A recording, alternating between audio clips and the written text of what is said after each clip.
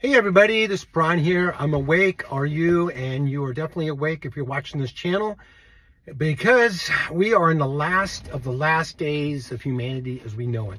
The pre-trib rapture is about to happen. We do not know the day or the hour. You will never hear that on this channel, but we know it's very close by the events that are happening. And there's some events happening every day, and there's one we're going to look at today that's right out of the pages of the Old Testament which we're going to start with here in a minute. And every day, every time I do a podcast, every time I'm doing a video, I, or I turn on the television or look at my phone to check on the stuff that's going on in the world is just amazing to watch. It really is. We're, I hope we're not getting used to it because saints, this is all pointing to the beginning of the trib, which we're gone before that. So we see stuff going on every day it's unbelievable what's going on. I mean, if you're having a bad day right now, I know the East Coast, you're three hours ahead of me here on the, the left coast. Um, I, what time is it here? It's a little after 10. So what's there? One o'clock? You know, your day's been going on for a while. Uh, if you're having a bad day or here on the West Coast or anywhere in the world, pull over and you're in your car, in your home, go to a quiet place and just give it to God. Who else are you going to give it to? You can tell your friends and your family and your spouses, which is a good thing to do sometimes if you can trust them. But the best person you can give all your junk to is God. Jesus said his yoke is light. His yoke is easy. Cast all your cares upon him, for he cares for you. He can handle it. You know, when you talk to some people we uh, call them Debbie Downers because they're always bringing us down from all the stuff going on in their life. And it just drains you. We call them emotional vampires.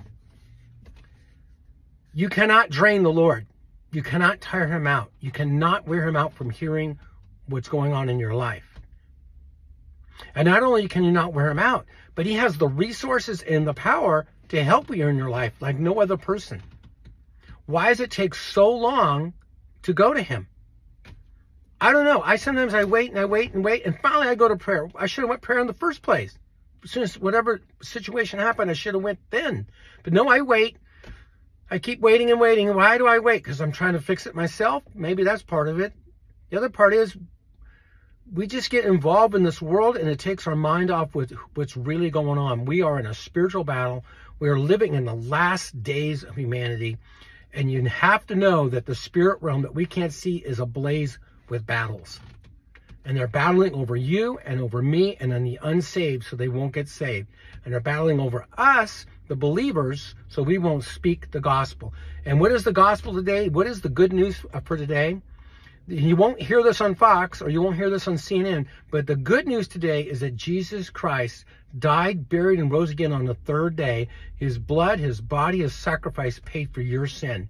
We are all born into sin and God cannot allow sin in his presence. So he sent a sinless sacrifice called his son, who lived a sinless life for 33 years and then died on that cross. And on the third day, he rose from the grave in power and victory. You put faith in that, believe that, ask him to come into your heart, you'll be saved. Saved from what? Well, for once, saved from eternity in hell and pain and sorrow, separation from God, family, and friends for eternity, that's a big one. And if you get saved and God is calling you today to do that, I implore you, I, I'll beg you if I could, you need to do it. You need to do it because there's no time. I don't care how old you are. You can be 18 years old watching this.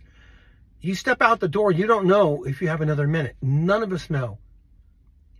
So, but God has given us a way to come before his throne, access through Jesus Christ. It's the only way to get to God's throne is through the Lord Jesus Christ.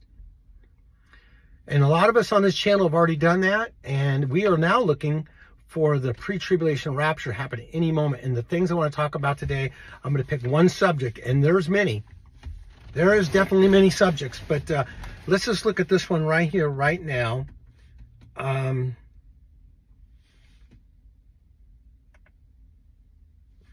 We're going to start right here. We're going to start with an article, and this is allisraelnews.com. It says here, Axis of Ezekiel 38, question mark. Turkish President Erdogan calls for Russia, Iran, Turkey, Syria alliance against Israel. I'm going to read this again because I'm going to go a little further with this. Axis, axis of Ezekiel 38, Turkish President Erdogan, I think I pronounced that right, calls for Russia, Iran, Turkey, Syria alliance against Israel. I hear people say to me sometimes, not everything is, you always see the stuff's in the Bible. Where's that in the Bible? Let's, let's, uh, let's go there right now. Actually, let me see here. Let's go. It says right here, Ezekiel 38. Actually, I'm going to back up. I'm getting ahead of myself. I'm going to read you some names, modern names of countries that are in Ezekiel 38 and 39. Okay, Rosh is Russia or chief. Magog, Central Asia and Russia. Meshech, Turkey. We just read about Turkey. Tubal, Turkey, also southern Russia and Iran.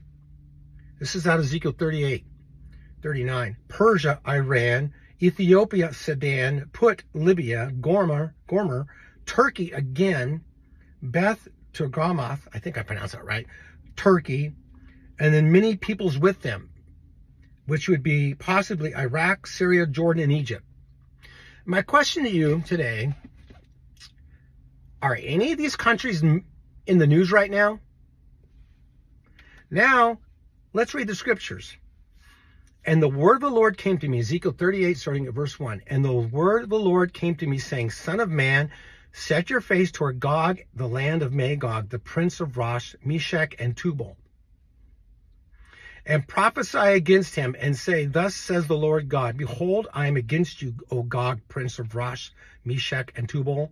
I will turn you about and put hooks into your jaws, and I will bring I will bring you out and all your army, horses and horsemen, all of them splendid attired, a great company with buckler and shield, all of them wielding swords. Persia, Ethiopia, and Put with them, all of them with shield and helmet. Gomer with all its troops, Beth uh, Beth Tomagrama, I think I spelled that right, pronounced it, from the remote parts of the north with all its troops, many peoples with them. Now, let's go back to that article. Israel, all Israel news. Axis of Ezekiel, Turkish president calls for Russia, Iran, Turkey, Syria alliance against Israel. Turkish president told local media on Saturday that Russia, Iran, and Syria should do more to protect Syria's territorial integrity. It is essential that Russia, Iran, and Syria take more effective measures against this situation, which poses the greatest threat to Syria's territorial integrity, said uh, Turkish president when asked about the recent alleged Israeli airstrikes in the nation's capital of Damascus.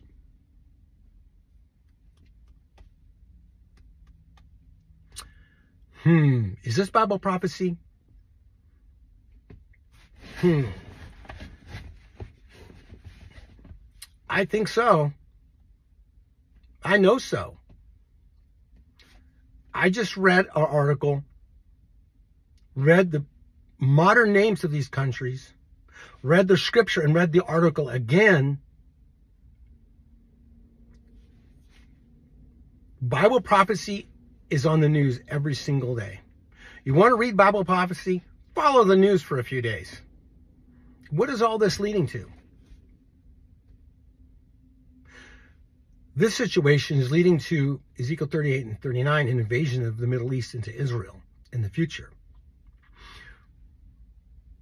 We are out of here. We are out of here really soon. Could we see this? Maybe.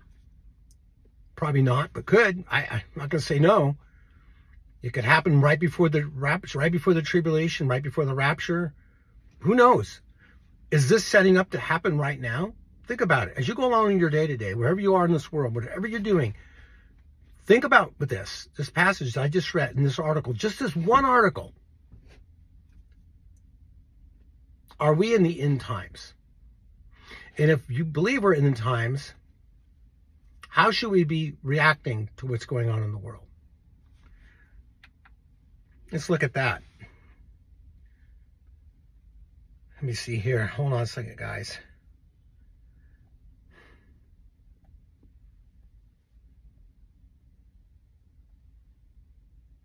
I'm going to read two passages for you. First one is Philippians 3, starting at verse 7. But whatever things were gained to me, those things I have counted as loss for the sake of Christ. More than that, I count all things to be lost in the view of surpassing value of knowing Christ Jesus my Lord, for whom I have suffered the loss of all things, and count them but rubbish or garbage, so that I may gain Christ. Verse 10 that I may know him and the power of his resurrection and the fellowship of his suffering, being conformed to his death. Verse 12, not that I have already obtained or have already become perfect, but I press on that I may lay hold of that which also I was laid hold of by Christ Jesus. Brethren, I do not regard myself as having laid hold of it yet, but one thing I do, forgetting what lies behind and reaching forward to what lies ahead. I press on toward the goal of the prize of the upward call of God in Christ Jesus.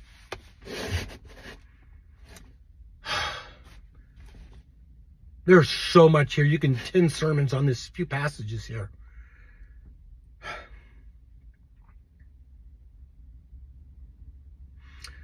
I'm going to see something here. Here it is. Forgetting what lies behind and reaching forward to what lies ahead. If you look back, you know what happens when you're looking back, when you're hiking or walking, you're going to trip and run into somebody or something. But why do us, me included, look back what happened in our life 30 years ago, 40 years ago, five minutes ago, 10 minutes ago, it doesn't matter. We look back and we run right into the present. You can't live for the Lord in a full capacity, what God has called us to do, if we keep looking behind at our mistakes. Or somebody hurt us, somebody did this, somebody did that. I get it. You've been hurt emotionally, maybe physically. It's horrible. I'm sorry that happened to you. I really am. I am really am. A lot of abuse out there. But you're alive still. You're here for a reason still. Why? Why are you here? Believer, I'm talking to born again believers right now. The church. If you're bought and paid for by God Almighty and sealed by the Holy Spirit, and God's going to redeem us at the rapture if we don't die first, then what in the world are you doing here? And what am I doing here? We're just taking up space on a shelf. We're just a, uh, just a, an item God's got on a shelf. We blow the dust off once in a while and takes a look at it. Yeah, that's my child not doing anything lately, but that's him or her. If you're alive and you're watching this, there's a reason for it, and it's not just to sit.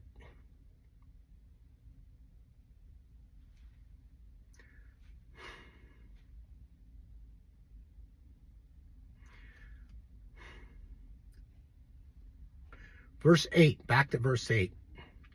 More than that, I count all things to be lost in the view of the surpassing value of knowing Christ Jesus my Lord, for whom I have suffered the loss of all things, and count them but as rubbish that they may gain Christ. Whatever we gain in this world, or whatever we've lost in this world, is garbage. It's dung compared to what is waiting for us at the trumpet and after. That's why Satan reminds us he's called the accuser of the brethren.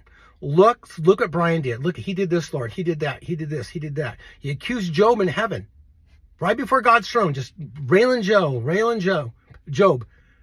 And you know what happens? Our advocate who's in heaven, who sits at the right hand of God, Jesus Christ, Yeshua HaMashiach, our Savior.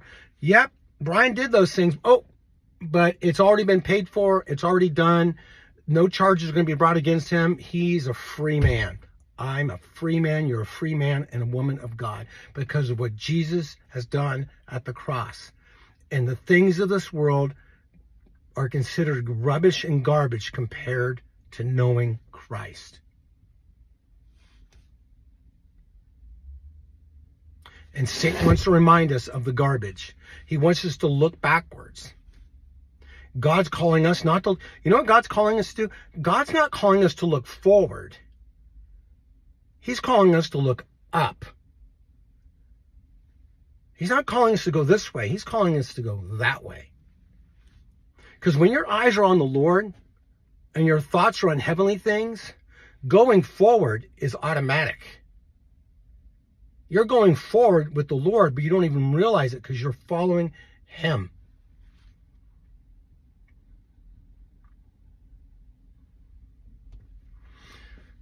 The three wise men, Christmas is coming up, followed the star. Were they looking forward for Christ or were they looking up?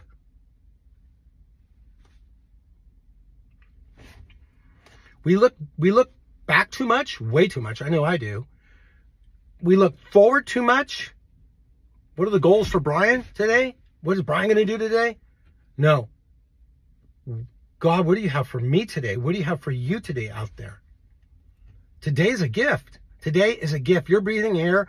It's a gift a believer. It's a gift. But I, I don't, I'm at home. I do this, I do that. We're so programmed. Everybody wants to, not, I shouldn't say everybody, to be out front. Look at me. Look at this. Look at that. I do this for a living. I do that for a living. A humble and contrite heart, God will not despise. Opening a door for somebody, you know, you know God sees that? letting somebody else have the parking spot even though you were there first. Do you think God sees that? Giving a cup of water in his name is his reward not great in heaven? This is the stuff that God's called us as believers to do every single day. But we miss it. We get all involved in all this drama in our life or just life, and we forget. I do. Maybe I'm the only one but I forget, oh yeah, we're in a spiritual battle. That thing that just happened to me, that wasn't that guy or that person. That was a demon trying to derail my day. And now I just read an article and then I read the countries right out of the Bible that were in that article. They're aligning together and there's a threat of World War III all over the news right now. Israel's about to attack Iran. They're already in a war in seven fronts. Everything's going crazy out there, cray cray. Every, everything's chaos. Everything is chaos. But the church of God, we are a rock. Why? Because Jesus is the rock. He's the cornerstone. He's the foundation stone of our faith. That's why we don't have to be moved. That's why we don't have to be scared. That's why we don't have to worry about what's going to happen because he told us what's going to happen before it happens. So when it does happen, we know it's him and we're okay because the rapture of the church is about to happen any moment. That's the truth. You want real truth? That's the truth. Our Heavenly Father is going to send His Heavenly Son to come down and get His heavenly people very soon. I love you guys. I was going to do a longer video, but I got a short, uh, busy day today. You know what? You see this stuff like I just read? What's the Bible say? What's John, uh, Luke 21 say when you see what I just read? Look up for redemption draws nigh. I'll see you in the clouds. It's your brother Brian out. Bye, guys.